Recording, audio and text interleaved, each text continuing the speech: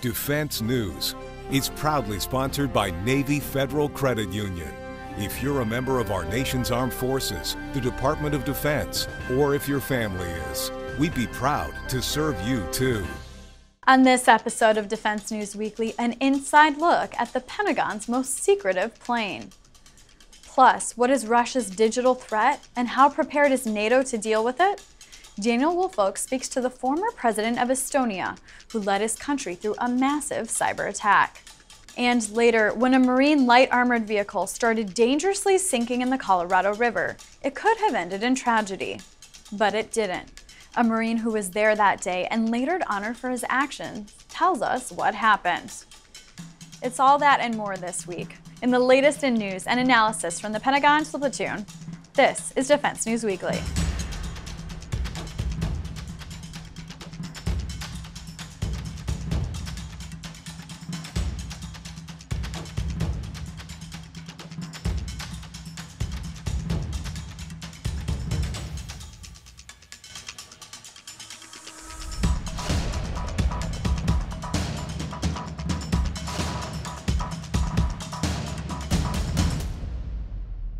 Welcome back to Defense News Weekly. I'm Andrea Scott. First up this week, you may have heard rumors of the secretive, quote, doomsday plane that is meant to be a command center for the president in case of nuclear war. But that's not all it's used for.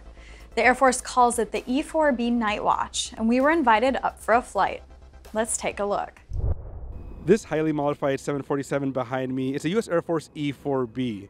It's part of the Night Watch program. It's used as a flying command and control center by the president and other leaders in dire situations such as natural disasters and even nuclear attacks where Air Force One is not an option. It's used in the most dire situations, but the crew inside, they don't want that excitement. Boring is good because our nation doesn't want us to be executing our mission. This is one of the only missions in the military that you don't want us actually executing. This is the conference room of the E-4B. This nicknamed by civilians the Doomsday Plane. In a dire situation like a nuclear disaster, the President of the United States will sit in this chair and lead the nation. This plane is a flying communications suite that can reach any person on Earth. So I want people to understand what we do. As a taxpayer, I want them to know what their money is doing. I want them to have confidence that our nation has communication capabilities in a, a time of a crisis. It may not be a nuclear event with a, a near peer like Russia or China. What if it's a power grid failure and that wakes up the president? And we need to have that capability on board to make sure that everyone has all the communication capability. So it's the unknowns that would may arise. Uh, maybe it's uh, supporting FEMA with uh, some type of flood uh, recovery. We've done that before in the past. We don't necessarily bring FEMA on the aircraft and give them 5,000 square foot of office space, but we'll provide them communication capability. That's really what the nation gets out of us so yes, we are a Department of Defense platform, but we do other things outside Department of Defense. Uh, I get to fly. That's really exciting. Um, I'm a, just a communications officer by trade. Uh, we sit on the ground and normally I'm making sure the general gets his email, right? Uh, this is one of the few jobs in the Air Force where a comm officer like me gets to fly in an airplane. So I'm going to live that up to the fullest extent possible. Do you ever think about like what your job means for you know, national security, kind of big picture? Every day. Yep. That's one of the coolest things about this position is seeing um, the the impact directly.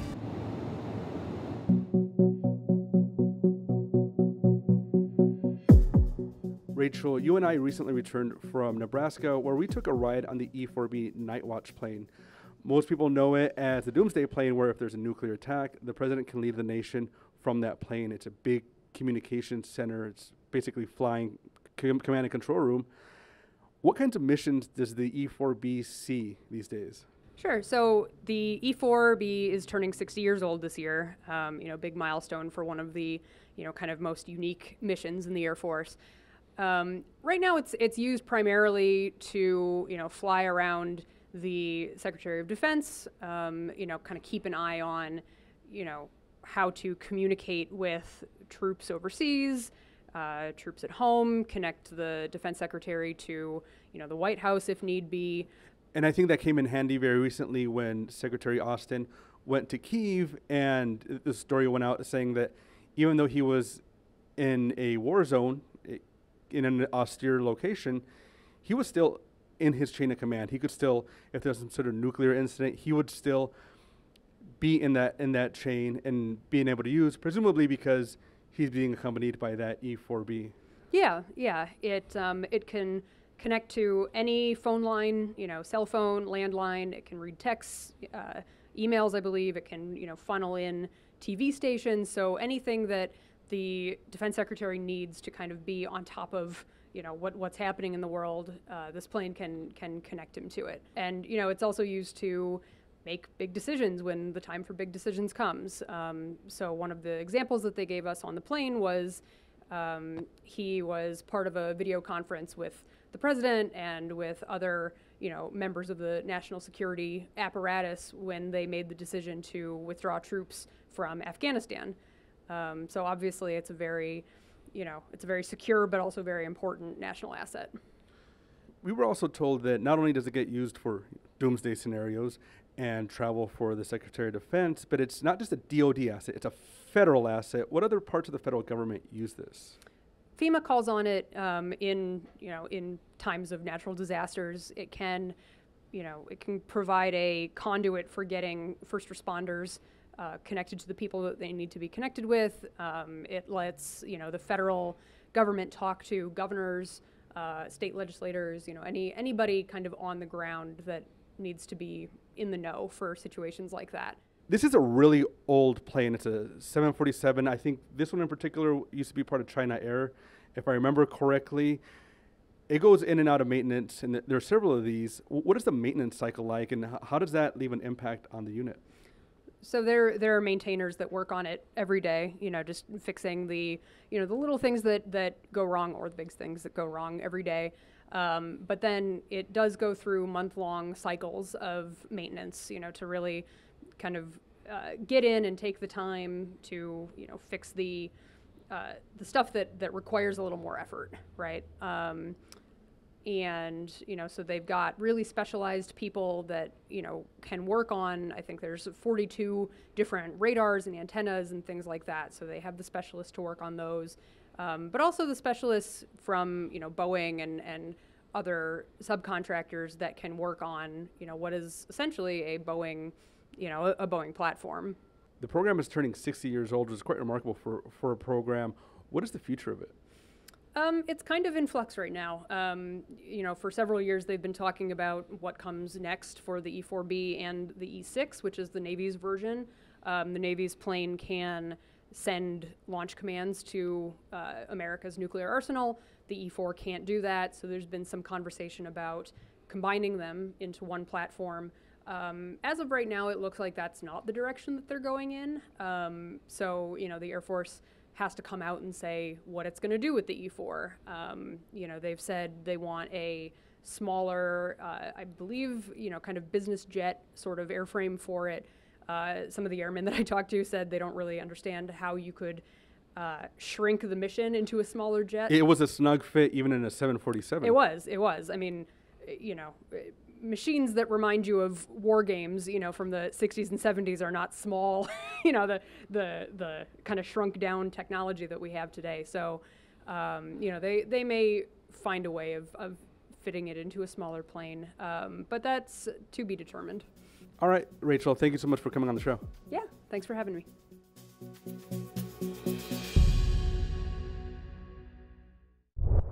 When we come back, the former president of Estonia looks at Russia's cyber capabilities and how ready its opponents are to fight them. And later, the Air Force's new trainer jet, the 7A Red Hawk, makes its debut.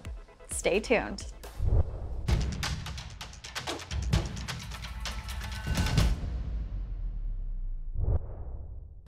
Welcome back to Defense News Weekly. In 2007, a cyber attack wreaked havoc on Estonia. Several other Baltic nation services and businesses were hit, and the attack was ultimately attributed to Russian hackers. The country has since become a leader in cybersecurity and digital living. In fact, its citizens can vote online. The country has also helped other nations strengthen their own cyber capabilities, namely Ukraine, which was hit in 2015 by a massive Russian cyber operation that took out power to much of the country. Leading Estonia during that time frame was Toomas Hendrik Ilves. I recently spoke to Mr. Ilves about Russia's digital threat for this week's Actionable Intelligence.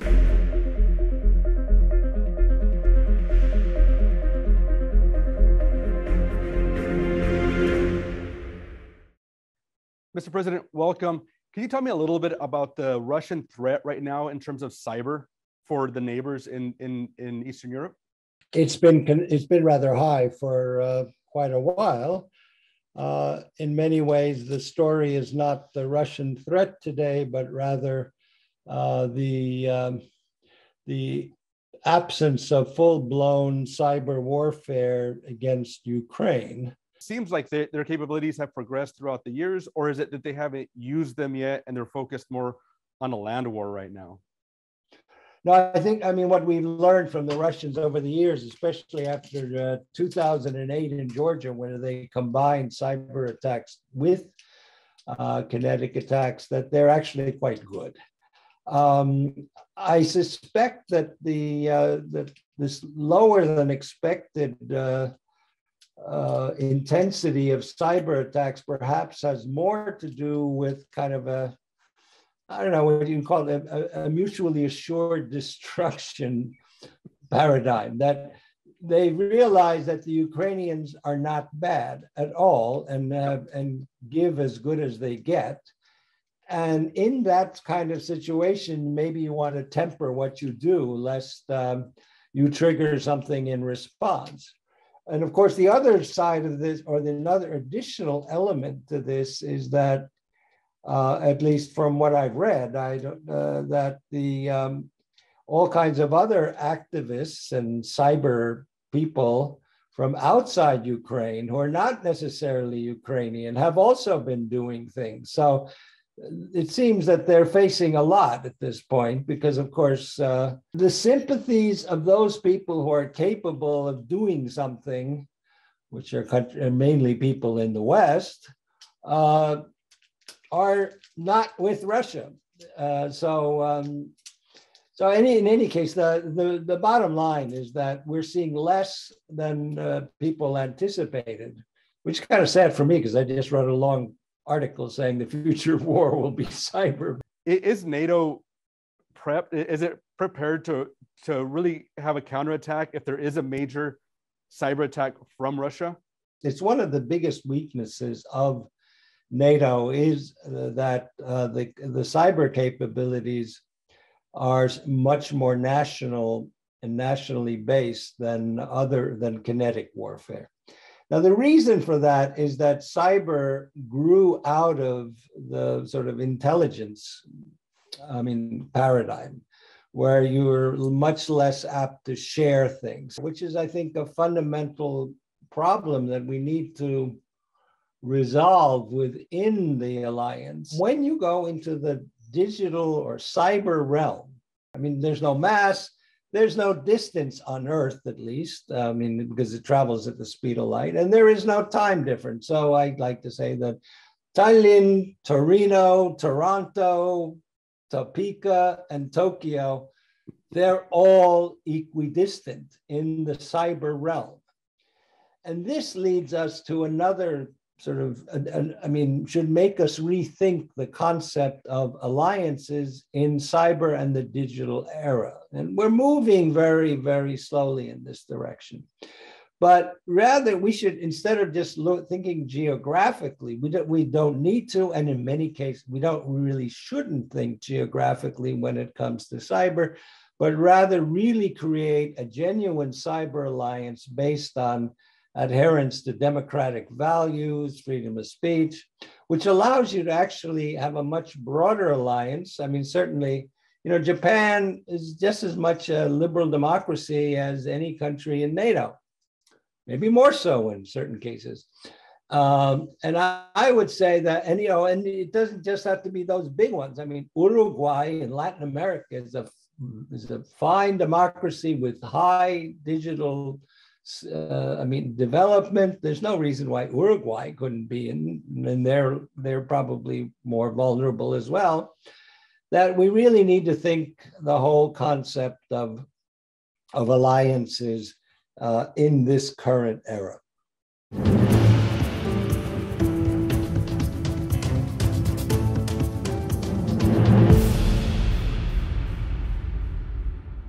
And now for defense dollars. The U.S. Air Force and Boeing unveiled the service's new fleet of trainer jets, the T-7A Red Hawk. The event, held in a Boeing facility at Lambert Airport last Thursday, marked the first delivery of 351 planned T-7s, which will replace the more than five-decade-old T-38 Talon aircraft. Boeing received a $9.2 billion contract in 2018 to create and deliver the Air Force's new trainer, which was designed to teach pilots to fly fourth and fifth generation aircraft. The T-7 was named in honor of the famed Tuskegee Airmen of World War II. That's the first squadron of black fighter pilots who broke racial boundaries and were nicknamed the Red Tails after the plane's distinctive markings. The T-7's own red tails are another nod to that legacy. Colombia's Air Force has chosen a mix of TA-50 and FA-50 Golden Eagles as its next jet trainers. That's according to military sources who talked to Defense News. The planes are made by Korea Aerospace Industries. The Colombian Air Force plans to acquire at least 20 advanced jet trainers with air-to-air -air and air-to-ground combat capabilities under a project estimated to be worth $600 million. Thanks, Daniel. Artillery promised to Ukrainian forces by the White House has been making its way to Europe, thanks to a combination of airmen and Marines. Troops at California's March Air Reserve Base have been loading howitzers onto C-17s to get them to the fight. The weapons are part of a broad aid package provided by the U.S. And in the Navy, hundreds of sailors will be moved off the aircraft carrier George Washington, following an influx of suicides and deaths among the crew. A CO told the crew recently that about 260 sailors will head to onshore barracks living areas. The George Washington is in a years-long overhaul in Newport News, Virginia. Crew members have complained of bad living conditions aboard the carrier, including constant construction noise and a lack of hot water and power. And the Honor Flight Network hit a major milestone this week when it escorted its 250,000th veteran to the Capitol. The group, which flies veterans from around the country to visit war memorials in Washington, D.C., held a special event at the World War II Memorial to commemorate the benchmark. Veterans spoke about what it meant to be able to make the trip to see the memorial. Is this the first time you've been to the memorial? Yes, it is. So what do you think? Unbelievable. Awesome. Honor flights were largely curtailed during the height of the COVID-19 pandemic, but have recently been able to resume. The program began in 2005 as a way to allow war veterans who might not be able to easily travel to Washington to see the nation's monuments. Thanks to Capitol Hill Bureau Chief Leo Shane for the images. When we come back, we dispel some common myths about VA loans on this week's Money Minute. And later, four Marines recently were awarded the Navy and Marine Corps Medal. Find out why.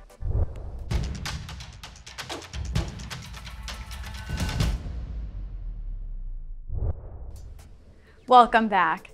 On this edition of Money Minute, Navy Federal Credit Union personal finance expert Jeanette Mack gives her latest tips. VA mortgage loans are designed to make the dream of homeownership more attainable for military families. It's a well-deserved perk for your service to your country. It shouldn't come with confusion or misconceptions, so let's clear up some things about the VA loan. By far, the single largest benefit of VA loans is they don't require a down payment. This is a massive benefit. But according to recent research by Navy Federal Credit Union, 45% of active duty service members think they need a down payment of more than 20%. That's $40,000 if you're talking about a $200,000 house. VA loans make it possible to buy a home without spending years saving for that hefty sum. Many service members also feel VA loans are complicated and slow.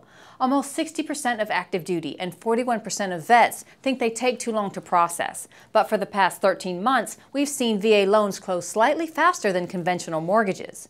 VA loans provide a ton of great benefits, so get familiar with them. If you're eligible, discuss the option with your lender. It really is the best and easiest way to home ownership.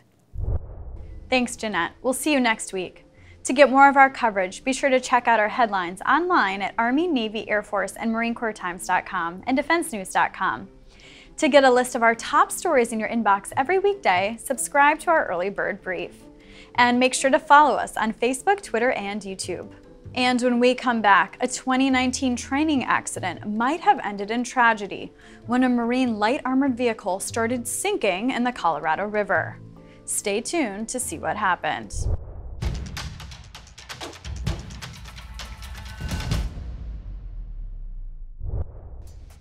Welcome back.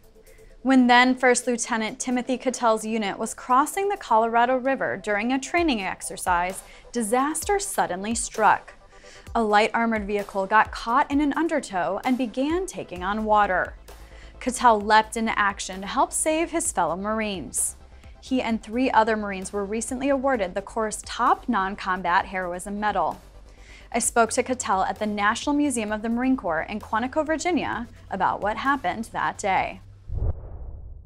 We were crossing the Colorado River and uh, when the vehicle went in, um, it basically got caught a little bit of the undercurrent of the Colorado River, uh, which pushed it around facing upstream and uh, the vehicle started taking on more water.